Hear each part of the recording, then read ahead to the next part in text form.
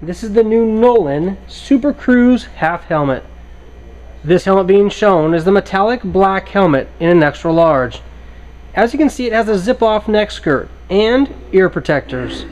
The visor is removable with just three snaps for the classic helmet look. If you look here towards the bottom, you see the Microlock retention system. This is one of the most comfortable and modern systems available today and is extremely safe and easy to get in and out of. This half helmet features a fully removable liner that velcros in and out in mere seconds. If you're looking for one of the most top of the line half helmets for both safety and warranty, this Nolan helmet is a great choice for you.